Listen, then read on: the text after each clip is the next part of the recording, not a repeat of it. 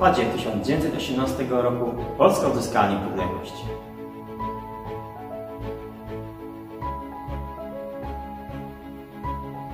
W listopadzie 1918 roku kobiety w Polsce uzyskały prawa wyborcze.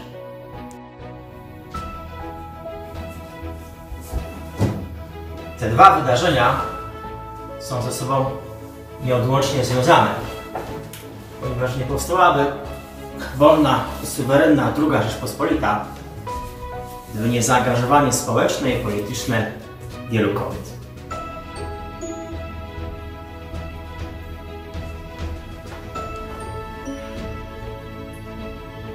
Jakie były matki naszej niepodległości,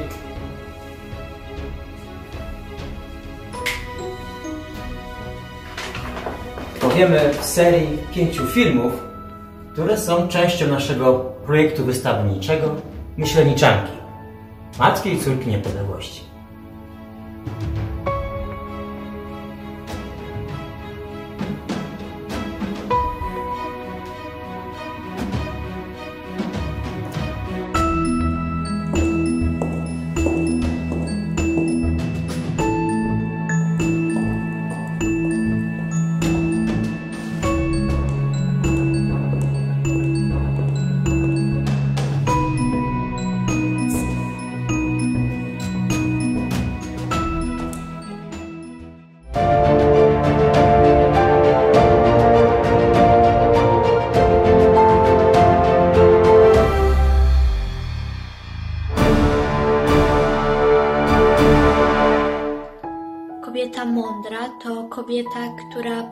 Życiowe doświadczenia, jest dojrzała i kieruje się rozsądkiem.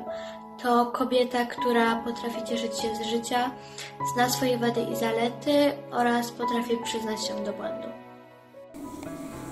Dzisiaj mądrość nie ma płci, ale przed 100 laty zawody związane z wyższym wykształceniem kojarzone były głównie z mężczyznami. Od odzyskania przez Polskę niepodległości zaczęło się to powoli zmieniać i na uniwersytetach z roku na rok pojawiało się coraz więcej kobiet wśród studentek i uczonych. Dziś w pierwszym filmie opowiemy Wam o takiej właśnie kobiecie.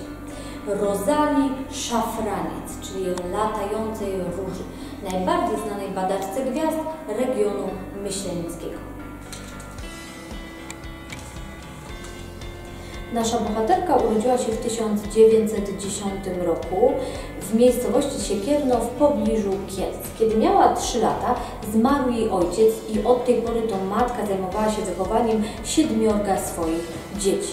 Rodzina utrzymywała się z 5-hektarowego gospodarstwa i wiodła proste życie. Rozalia od najmłodszych lat wykazywała zainteresowanie nauką, szczególnie zaś matematyką i mimo trudnej sytuacji finansowej swojej rodziny zdobyła naprawdę imponujące wykształcenie. Ukończyła gimnazjum w Kielcach, a w 1929 roku zdała maturę jako pierwsza osoba z Siekierna. Dalszą naukę kontynuowała już na Uniwersytecie Warszawskim, studiując matematykę, czyli dziedzinę, w której wciąż prym wiedli mężczyźni. Dzięki jednak swoim zdolnościom i uporowi udało się jej odnaleźć w skostniałych uniwersyteckich strukturach i w 1934 roku zdobyła tytuł magistra.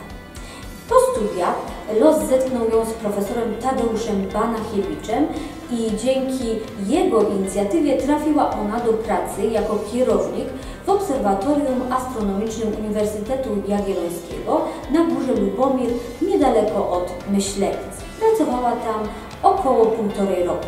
Następnie po studiach rozpoczęła pracę nauczycielki w gimnazjum i w liceum w Mysłowicach. Wrzesień 1939 roku był czasem przełomu dla całego pokolenia Polaków. Dotknął również Rozalię Szafraniec. Młoda matematyczka powróciła do swojego rodzinnego Siekierna. Nie był to jednak czas bezczynności, wręcz przeciwnie. Rozalia Szafraniec bardzo wiele uczyniła dla obrony własnej ojczyzny. Zaraz zaangażowała się w działalność konspiracyjną wymierzoną przeciw niemieckiemu okupantowi, najpierw w strukturach Związku Walki Zbrojnej, a następnie Armii Krajowej. Znana była w tym okresie pod pseudonimem Ażur i Żur. Wkrótce została też komendantem gminy Bodzentyn w Wojskowej Służbie Kobiet, która działała w strukturach Armii Krajowej.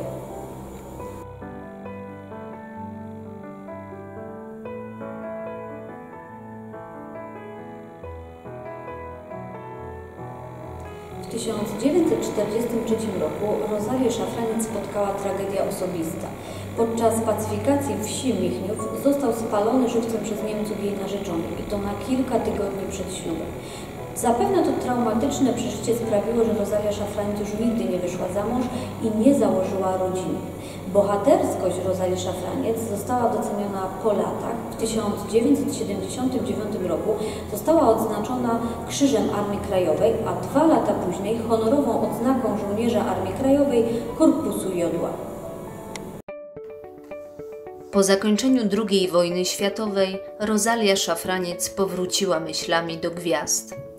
Przeniosła się do Krakowa i ponownie zaczęła współpracować z profesorem Tadeuszem Banachiewiczem.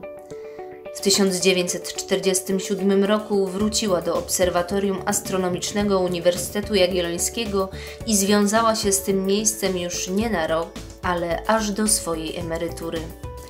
W latach 1951 do 1973 piastowała w obserwatorium stanowisko adiunkta. Wcześniej zrobiła na Uniwersytecie Jagiellońskim doktorat i w kolejnych latach kontynuowała swoją karierę naukową. Niestety jej rozwój był znacznie utrudniony z powodu dawnej przynależności do Armii Krajowej, przez co astronomce zamknięto drogę do uzyskania habilitacji i późniejszej profesury. Władze PRL-u nie zezwoliły jej również na wyjazd do USA, gdy prestiżowy uniwersytet w Filadelfii zaprosił ją do siebie na gościnne wykłady. Mimo tych różnych przeciwności, Rosalia nie poddawała się. W 1952 roku została członkiem Międzynarodowej Unii Astronomicznej. W latach 60 dokonała 50 tysięcy obserwacji gwiazd zmiennych zaćmieniowych, co uznano wówczas za rekord świata. W tym wpatrywaniu się w niebo była zresztą tak wytrwała, że pewnego razu odmroziła sobie część twarzy od przytykania doń lodowatego okularu lunety i aby uniknąć później takich sytuacji, stworzyła sobie na potrzeby badawcze specjalną kominiarkę z otworami tylko na oczy.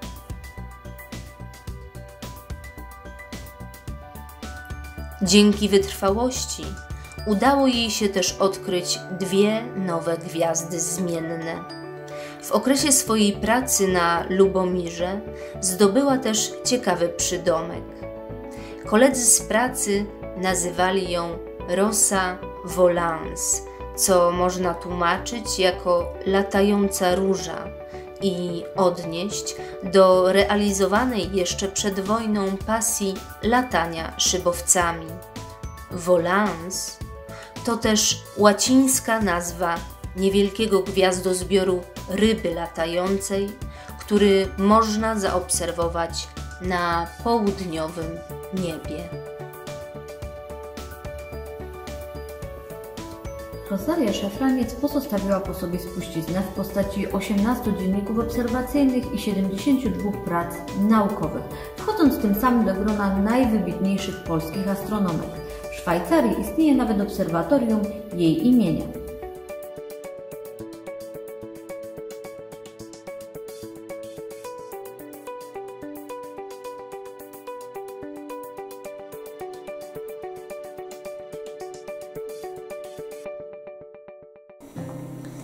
Życie Rozali Szafraniec skupiało się głównie wokół gwiazd. Dlatego ta kobieta kojarzy się nam nie tylko z mądrością, ale i z marzeniami. A o czym marzą dzisiaj myśleńczanki i w jakich trudnych dziedzinach sprawdzają się dzięki swojemu wysokiemu wykształceniu? Zapraszamy Was do dzielenia się swoimi doświadczeniami i do obejrzenia naszej wystawy poświęconej matkom i córkom niepodległości.